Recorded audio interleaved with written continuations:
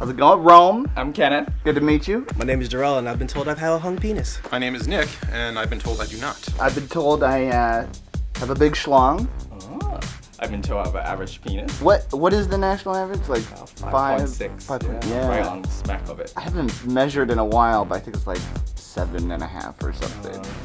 Fully Fully. schlonged out. Yeah. I won the 2013 Brooklyn Smallest Penis Contest. Oh, wow.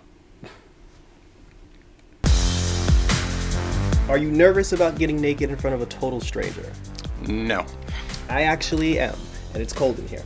Oh. So I'm kind of like rubbing my junk just to get some blood in there because we have to show it on camera. Yeah. Self fluff. Self fluff. Yeah. I used to hate it in high school because I remember Asian penis being like the butt of most joke, and I'm also a grower. I realized how much I tortured myself all those years before. I'm like, ah, I could love my junk too. All right, so three, two. One. What?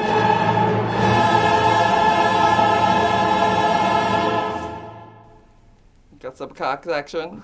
Now it's warm in here. It is nicer, ain't it? yeah. Kenneth, uh, you have a very nice uh, sculpted body. Thank you. Your body hair is very strategically placed in a very good looking layout, you know? It's my Jewish side.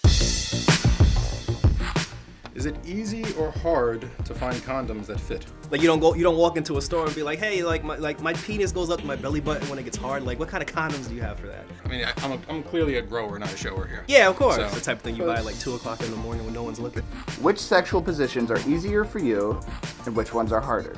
What I love about my cock is that uh, probably have a lot more anal sex. I, I call it anal friendly, so Anal that's how I friendly. advertise my cock is anal friendly. And Anal friend? Yeah, so That's a good uh, band name. Anal friendly. anal friendly. How happy are you with your penis size? Uh, completely happy. I, I've been asked, I've heard this question in the past. It's like saying, are you upset because you're short? Or are you upset because you're too tall? Or whatever. You know, it's the way I am, the way I was born. So Yeah.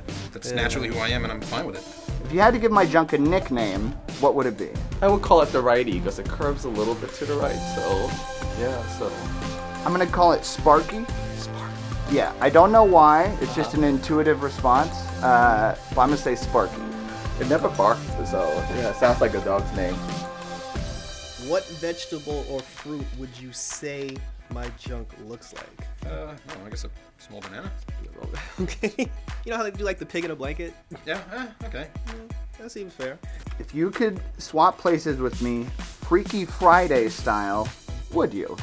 Probably no, because uh, I love my sex life. Ge- genital self-esteem really like makes your sex life. So Yeah. if you don't love your own cock, then you're probably not gonna have a really good sex life because you'd be hiding it all the time. Would you switch places with me on Freaky Friday? Well, at least the pectorals. I mean, it's tight. Thank you. Yeah.